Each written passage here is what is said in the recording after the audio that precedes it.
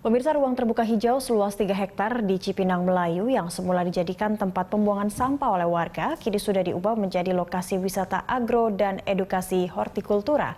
Dan untuk mengetahui informasi terkini kita langsung bergabung dengan reporter Jona Hamonangan dan juru kamera Untung Widodo. Selamat pagi Jona, apa saja infrastruktur yang disiapkan oleh pengelola untuk mendukung wisata agro dan edukasi hortikultura yang ada di Cipinang Melayu saat ini?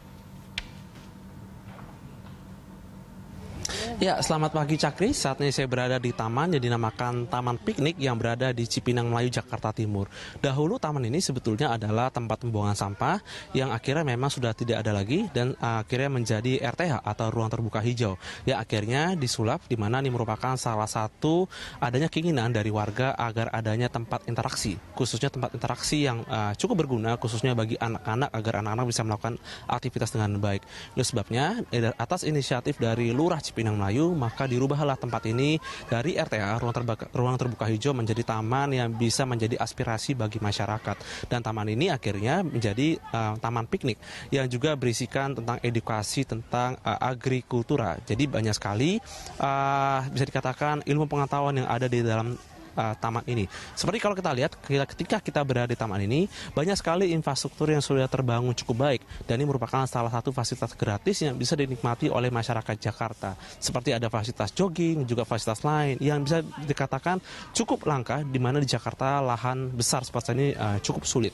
Dan juga ada juga uh, misalkan uh, edukasi seperti adanya seperti uh, lahan pertanian dan juga tanaman dan juga uh, hal lain yang bisa menjadi sarana edukasi dan memberikan pengetahuan pengetahuan khususnya bagi generasi muda di mana hal seperti ini di Jakarta cukup sulit untuk didapat dan diketahui. Terkait dengan adanya fasilitas taman seperti ini, ini juga merupakan salah satu fasilitas yang dibangun khususnya dari Jakarta Timur, lebih tepatnya dari pemerintah Kota Jakarta Timur di mana ini uh, memfasilitasi khususnya untuk masyarakat yang ada di areal uh, Cipinang Melayu. Tapi bagi Anda yang ingin datang ke sini tentu saja tidak terbatas bagi masyarakat Cipinang Melayu tapi juga masyarakat di daerah lain.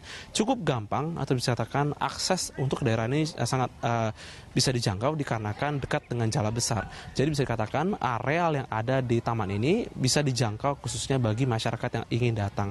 Uh, tem tem tempatnya ada di Jalan Manunggal, lebih tepatnya di areal komplek Kodam yang ada di Jakarta Timur. Jadi terkait dengan lokasi dan posisi sangat strategis. Jadi masyarakat bisa datang dan melihat seperti uh, seperti apa lokasi dan bentuk dari taman ini. Kalau kita di belakang saya, ini merupakan salah satu bentuk atau mungkin penampilan dari taman ini di mana banyak sekali ruang terbuka hijau seperti uh, misalkan lapangan kosong dan juga ada tanaman dan bunga. Ini menunjukkan salah satu bentuk bahwa adanya perhatian dari pemerintah Provinsi DKI Jakarta terhadap hal-hal seperti ini. Terkait dengan aktivitas bisa dikatakan cukup padat. Tadi uh, sekitar pukul 7 pagi kurang ada juga masyarakat dari uh, ibu-ibu uh, yang melaksanakan uh, senam. Ini menunjukkan bahwa tempat ini cukup hidup dan menunjukkan adanya interaksi masyarakat yang cukup aktif.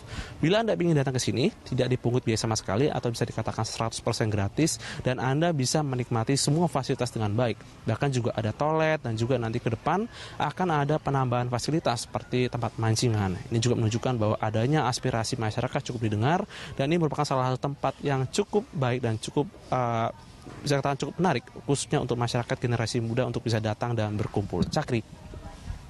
Ya Jona, seperti kita ketahui biasanya kalau warga Jakarta uh, ada tempat-tempat yang baru begitu akan menarik perhatian mereka untuk berkunjung. Bagaimana dengan taman piknik sendiri? Apakah sosialisasinya sudah begitu uh, sudah cukup besar hingga masyarakat uh, mendatangkan animo masyarakat yang besar juga untuk ke daerah taman piknik itu? Ya, Cakri terkait dengan animo masyarakat memang uh, tidak banyak atau bisa katakan kurang. Tapi untuk uh, masyarakat yang ada di area Cipinang Melayu tempat ini memang sudah uh, cukup populer dikarenakan memang areanya cukup strategis untuk uh, masyarakat yang berada di area Cipinang Melayu. Tapi untuk masyarakat di daerah lain bisa dikatakan memang butuh sosialisasi atau mungkin butuh hal-hal yang uh, bisa dikatakan untuk bisa menjadi populer. Itu sebabnya banyak sekali masyarakat mungkin dari generasi muda yang mungkin banyak memakai tempatnya untuk selfie, mungkin untuk di-upload di Instagram atau mungkin sosial media lainnya. Dan ini merupakan salah satu bentuk uh, wujud atau mungkin uh, perhatian dari masyarakat kaum muda bisa menjadi tempat atau mungkin wahana baru khususnya bagi mereka untuk tempat nongkrong baru. Terkait dengan animo, kami sendiri melihat bahwa animo masyarakat sangat tinggi. Selain uh, mungkin gratis atau mungkin bebas biaya, tempatnya juga strategis dan menyimpan banyak potensi. Jadi kalau mungkin Anda senang foto-foto atau mungkin senang hal-hal baru atau mungkin uh, dengan hal-hal yang belum pernah Anda sentuh sebelumnya, daripada mungkin Anda keluar kota, menghabiskan waktu, Anda bisa datang ke sini di mana banyak hal baru yang bisa dilihat. Bahkan untuk bagi Anda yang mungkin senang olahraga seperti lari atau mungkin sepedaan, trek di sini cukup menantang dan kami sendiri nanti akan mencoba bagaimana mungkin lari atau mungkin sepeda daerah ini untuk melihat apakah trek di sini benar-benar bisa memuaskan khususnya bagi masyarakat dari kota DKI Jakarta sendiri. Cakri.